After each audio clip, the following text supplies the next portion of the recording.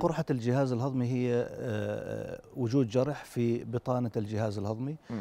إذا بنتكلم عن القرحة في المعدة أو في الاثنى عشر فهي أكثر أسباب القرح أو أماكن القرح في في الجهاز الهضمي نعم. طبعا لها أسباب جدا كثيرة ولها أعراض جدا كثيرة يطول الحديث عنها وأعراضها متفاوتة وقد تتداخل مع أمراض كثيرة جدا لذلك التشخيص واجب نعم, نعم. طيب دكتور إمتى يتوجه الشخص إلى الطبيب؟ إذا كانت الأعراض مطولة أو كانت الأعراض إحنا مزعجة جدا للمريض أو لم تستجب على العلاجات البسيطة اللي ممكن يأخذها الإنسان لألام المعدة المتكررة أو كان في أعراض لعلامات النزف من الجهاز الهضمي سواء التقيؤ المتكرر أو التقيؤ باللون البني أو التبرز الدموي مم. في هذه الحالات يجب التوجه إلى الطبيب بالسرعه الممكنة. نعم. نعم. أسباب حقيقة قرحة المعدة متعددة ولكن أكثر من 90% من الحالات لها سببين السبب الأول اللي هو التهاب البكتيري الناتج عن الجرثومة الحلزونية أو جرثومة المعدة والسبب الآخر استخدام المسكنات بشكل غير طبيعي أو بشكل متكرر مسكنات الآلام مخفضات الحرارة مثل نعم. البروفين والديكلوفيناك والأسبرين بشكل متكرر بعض الحالات النادرة جدا يكون السبب فرط إفراز عصارة الجهاز الهضمي وخصوصا عصارة المعدة في أمراض محددة.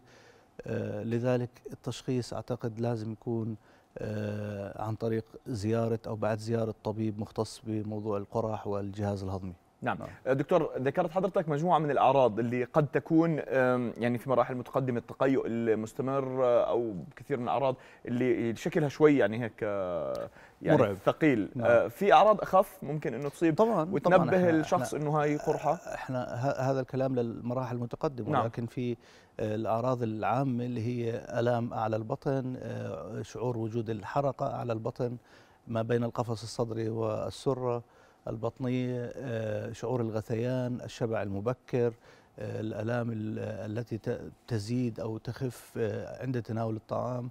وهناك فرق ما بين قرحة المعدة وقرحة الاثنى عشر. فالمعروف أن قرحة الاثنى عشر تخف تخف الآلام عند تناول الطعام. نعم.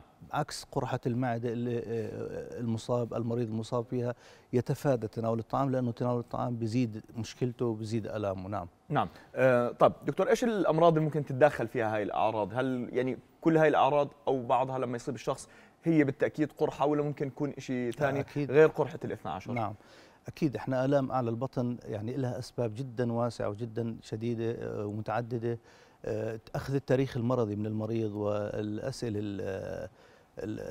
المباشرة للمريض نعم. والفحص السريري للمريض يمكن أن يعطيني تشخيص مبدئي عن وجود قرحة من عدمه لأنه في أسباب أخرى متعددة مثل التهاب البنكرياس، التهاب المرارة، التهاب القنوات الصفراوية، حتى التهاب جدار البطن وعضلات البطن ممكن تعطي أعراض مشابهة لوجود قرحة المعدة، لذلك ينصح أي إنسان عنده آلام متكررة غير مستجيب للعلاجات البسيطة نعم. للمعدة إنه يتوجه للطبيب المختص. نعم نعم جميل جدا. طيب دكتور شو في عوامل ممكن إنها تزيد من القرحة إذا كانت موجودة أو ممكن إنها تؤدي للقرحه إذا كان في استعداد؟ يعني التدخين الكحول طبعاً القهوة طبعاً التوتر؟ طبعا. هي هي اجمالا العادات الغذائية السيئة من الجوع الشديد الشبع الشديد تناول وجبة واحدة من الطعام وخصوصا مساء. نعم. الاعتماد على الأكل السريع على الوجبات السريعة إكثار التدخين الكحول. نعم. كل الأسباب هذه قد تؤدي إلى تفاقم مشاكل المعدة والاثنى عشر والتقرحات مع مضاعفاتها. نعم. نعم. القهوة تحديدا دكتور ممكن تسبب قرحة لحالها؟ نعم. مثبت علميا أنه النيكوتين والكافيين بزيد من أعراض القرح والالتهابات في الجهاز الهضمي العلوي. نعم. نعم. طب دكتور بالنسبة للتشخيص كيف بيتم التشخيص؟ التشخيص هو فقط سريري ولا في اختبارات؟ التشخيص في معظم الحالات بعد أخذ السيرة المرضية الجيدة والفحص السريري الجيد. نقوم ببعض الإجراءات الفحوصات البسيطة مثل فحص الجرثوم الحلزونية وإن كانت موجودة يعطى العلاج مباشرة بدون أي تداخل. بمعنى ما في داعي للمرضى اللي بيتحسنوا على العلاجات أن نعمل لهم إجراءات مثل تنظير المعدة أو تنظير الاثنى عشر.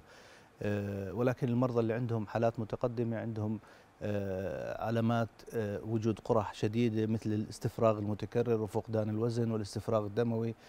هؤلاء المرضى بيحتاجوا أكيد إلى إجراء تنظير علوي للجهاز الهضمي لغاية التشخيص والعلاج الصحيح. نعم طب دكتور نحن بلشنا الفقرة بالعنوان التالي قرحة المعدة وهل يمكن الشفاء من القرحة نهائيا ففعليا هل يمكن الشفاء من قرحة المعدة نهائيا طبعا قرحة المعدة إن, إن عولج السبب آه، شفيت أكيد أه. ولكن قرحة المعدة تمتاز بحاجتها للمتابعة بمعنى بعد أخذ العلاج والتحسن يجب زيارة الطبيب بعد ستة إلى ثمان أسابيع للتأكد من آه، شفاء قرحة المعدة نعم. خصوصا بس هون الفكرة أنه السبب لازم يزول. يعني إذا واحد مثلا نعم. سبب القرحة نظام غذائي سيء مثلا. نعم.